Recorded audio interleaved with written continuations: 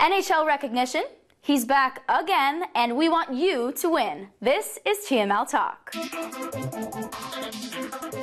Congratulations goes out to Nazem Kadri being recognized for his stellar play and named the NHL's third star for last week after recording seven points in three games. I gotta tell you, those nifty mittens have been working hard.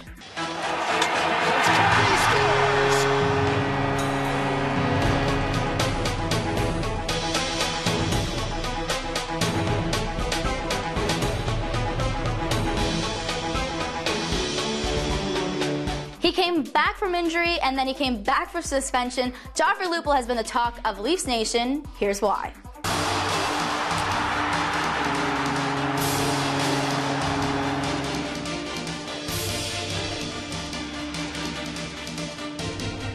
Holy Mackinaw man himself, Mr. Joe Bowen, was over at Real Sports Apparel signing his Holy Mackinaw t-shirts. You can get yours, $15 of the proceeds from the t-shirts go to the Leukemia and Lymphoma Society of Canada, all for a great cause. Check them out at Real Sports Apparel.